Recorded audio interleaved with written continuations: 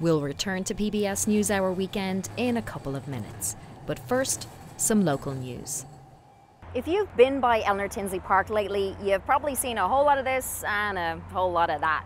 So, what's all this construction about? Well, it's all part of a bigger plan. The Buffalo Bayou uh, Park Shepherd to Sabine project is a $58 million effort, and the goal of it is to transform the bayou from Shepherd Drive to Sabine Street. The transformation, which is taking place in three phases, is expected to be completed by mid 2015.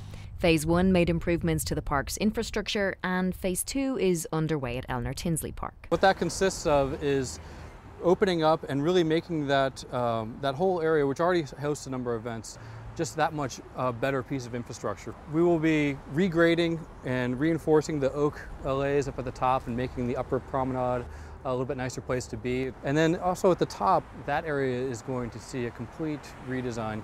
It will make it a much more uh, pedestrian focused and garden focused uh, park. These improvements will enhance the seating bowl for major events such as Summerfest and Freedom Over Texas.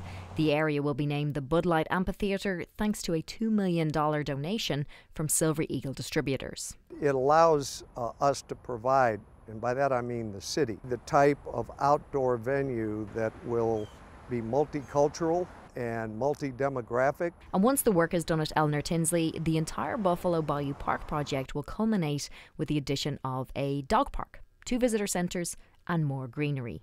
We're trying to build a robust park that, that can withstand hopefully a, a lot of users, but at the same time still maintain the vitality from an ecological standpoint. I think Houstons are going to come to realize that this will probably be Houston's premier park space. For Houston Public Media, I'm Edel Howland.